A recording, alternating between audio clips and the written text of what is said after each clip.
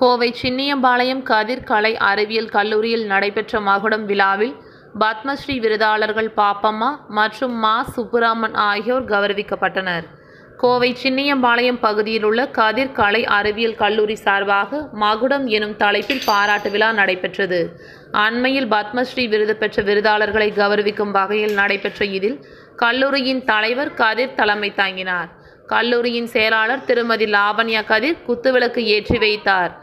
தொடர்ந்து விழாவில் கல்லூரியின் முதல்வர் முனைவர் கற்பகம் மற்றும் கல்லூரியின் ஆலோசகர் கணேசன் ஆகியோர் வாழ்த்துரை வழங்கினர்.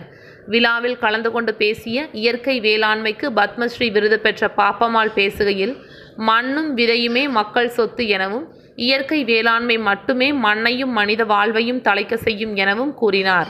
தற்போதைய இளம் தலைமுறையினரின் உணவு பழக்கம் மாறியுள்ளதாக கூறிய அவர் இளைய தலைமுறைகள் விவசாயம் செய்ய வேண்டும் என்றார்.